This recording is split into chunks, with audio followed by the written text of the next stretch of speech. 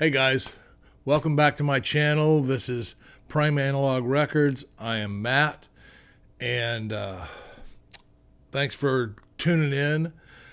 One of my buddies in the VC, Scott, um, over at the Pressing Matters, he did a video just, um, just I think it was this week, um, talking about um, beginning jazz titles, and I thought that was a really good uh, setup so what I told him I was going to do is I was going to do the progressive thing.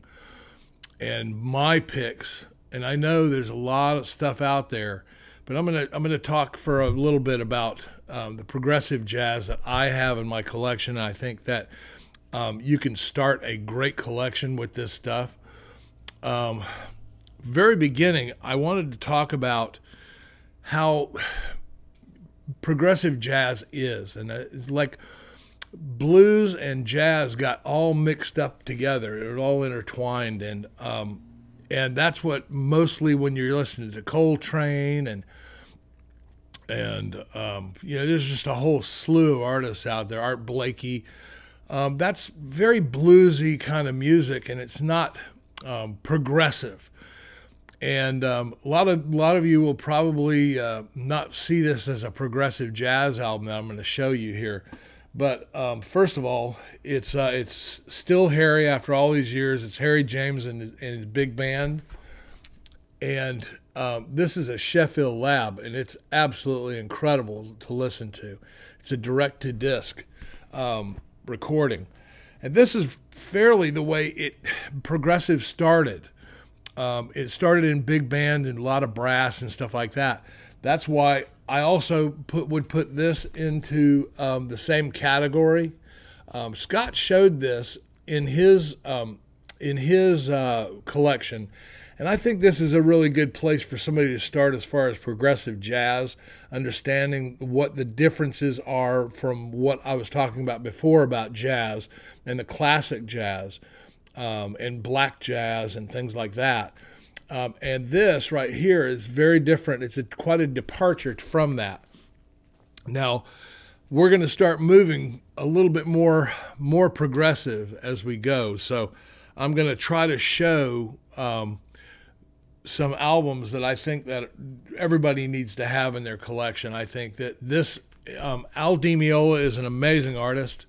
Um, I I fell in love with his stuff the very moment I heard it and this is the album that I started with, and this is absolutely amazing. This is Janice Dickinson on the cover, by the way, over here, but um, back in her prime. Anyway, um, Al Di is some kind of special, and you learn a lot about the technique and listening to him play guitar, and why he was chosen by Chick Corea when Chick Corea was putting together what he believed was the ultimate jazz progressive jazz band. This is at the same time where where a lot of different groups were coming out, um, and uh, not with notwithstanding some of the ones I'm going to show you, but this right here is what Chick Corea came out, and I think this is one of their finest albums here. Um, Chick Corea put together uh, Al Di Meola with this, uh, Chick Corea obviously was keyboards. Um, then you had uh, uh, Stanley Clarke playing bass, and you had um, Lenny White playing drums. And it's just a magical, magical ride, and it's a lot. It's a lot of fun to listen to, but it's not so radically hardcore um, progression um, in the jazz itself. It's certainly not smooth jazz. Um, smooth jazz is a very different genre and what I'm showing here is what I would I would say is progressive jazz. This is almost every jazz musician I've ever talked to um, has heralded this to be one of the finest albums that's ever been for progressive jazz. And you guys seen it before if you've seen my my uh, Jaco Pastorius um, expose, I guess. Um, and um, this is Weather Report Heavy Weather, and this is an absolute masterpiece from front to back. You know, beginning of the groove, flipping it, and the end of the last groove. It's just amazing, and you should listen to it in the order that it was it was it was laid out. Um, it really it really matters, and it's uh, it's really great album.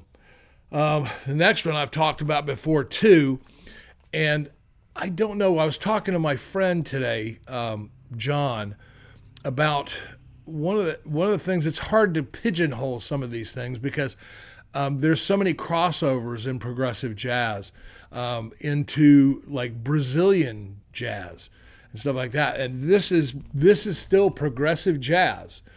Um, this is called this the group's called Caldera, and this is the the album's called Sky Islands.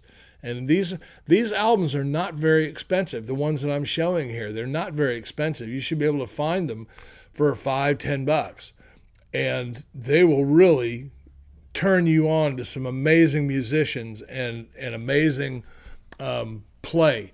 But this is the, almost all these guys in that group are almost every one of them is South American.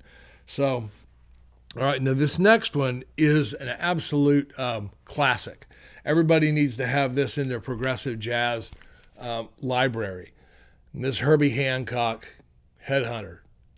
And this is a, a, a, really beautiful version of it. It's music on vinyl again, one of my favorite titles.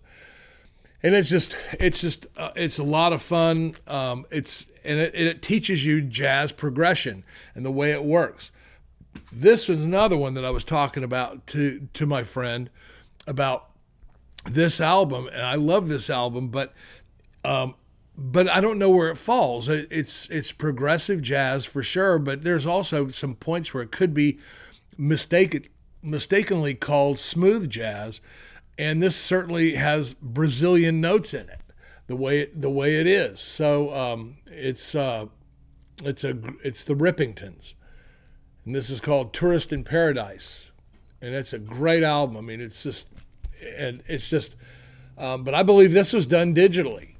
I believe that that it was it's on the GRP label, which generally shows that it's digital. I know there's digital in it, so it's not going to be a direct one step or anything else like that. But I'm throwing this in, and it's kind of a curveball because I love this bass player, Mark King and he plays the way his playing is is very jazz very progressive jazz.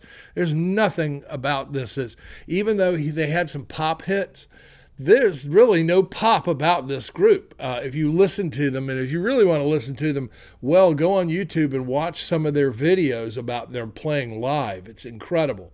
It's it's just uh, level 42 is is a totally different level and i certainly wouldn't call it pop.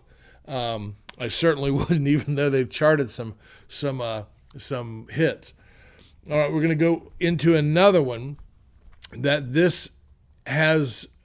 You know, there's it's not pop. There's a, I don't know where where you would put Joni Mitchell, but Joni Mitchell is far from pop. She was pop back in the in the 70s, but she's not pop anywhere in anywhere near this. This was 76, I think she did this, and this was so far ahead of its time. And this is totally progressive jazz. Um, he's got some of the best jazz players in the world on this, including Jaco Pastorius. But it's a great album, and I think this should be in everybody's jazz library because this this is totally jazz. All right, so here we're gonna get um, we're gonna this is a little bit this is a little bit uh, more progressive than the last album that I showed. But um, this is on ECM label, which is a high end label from Germany. Um, and it's a really beautiful copy. But Pat Metheny Group um, Off Ramp is this, and it's just really an incredible album. I, I got this back when I was in high school, I believe, or it may have been the, the first year of college, but unbelievable. This is just a masterpiece. He and Lyle Mays create such a mood and a feeling um, that it's just it's it's just it's just different than just regular straight up jazz.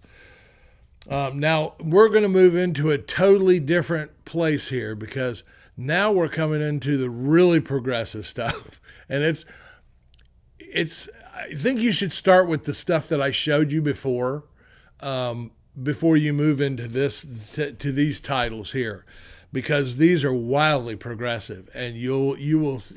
I mean, this is Miles Davis in a silent way. and another beautiful copy.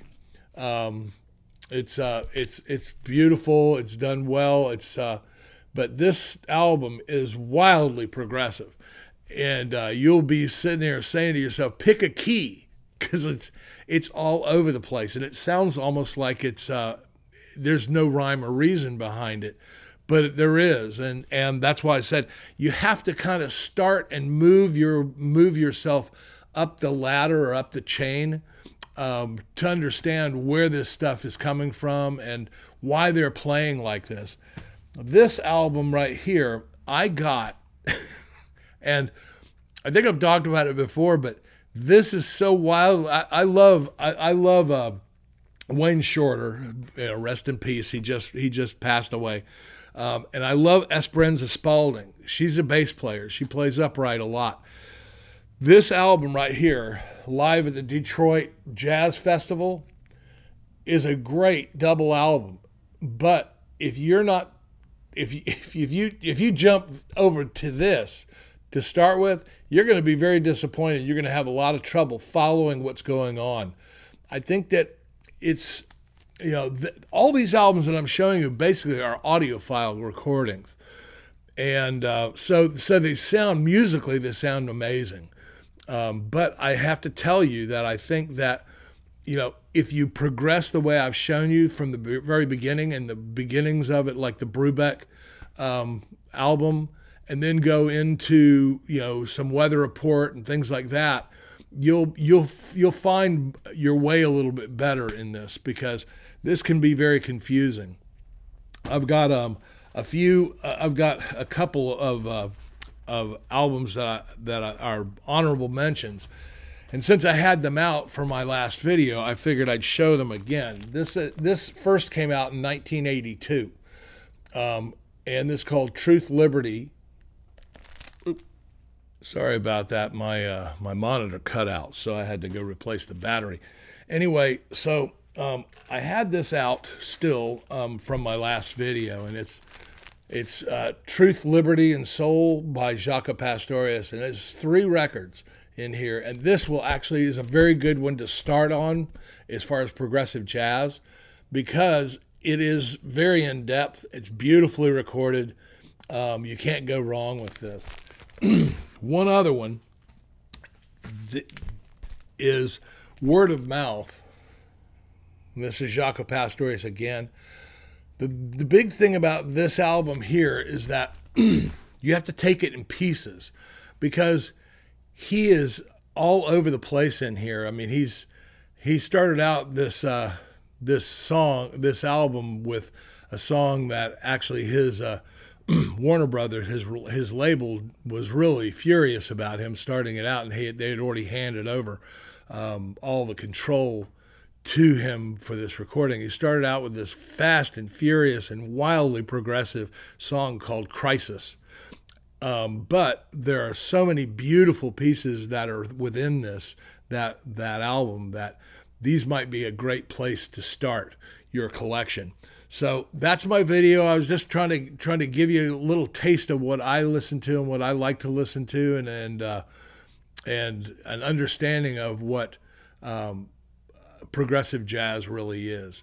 Um, tell me in the comments what your favorite ones are. I really appreciate it. I'd like to hear it. I want to I want to I want to learn from everybody in the VC and the more people that engage in this in these kind of things, it helps. It helps me. It helps me. Um, it helps me uh, learn and try you know try new artists. But you know, mainly the way I've learned through the years and through 30, 30 40 years of, of, of, uh, of collecting is I go through the credits. And, um, and when you have these big, beautiful albums that have all those credits in there, read those credits. Those will help you. They always will. They will, it's, it's, they, they guide you right where you need to go. And you've got this great tool in Discogs. If you like the way this guitarist plays and stuff like this, go plug his name in and then look at the credits that they'll have they'll have the credits right there where you're looking at the price and all this kind of stuff there's also a spot for notes and for credits which really tells you a whole lot about each artist it tells you who's on what and gives you suggestions for where you can go So anyway, that's my video. I hope it wasn't too long, and uh, we'll talk to you guys soon. See ya. All my best.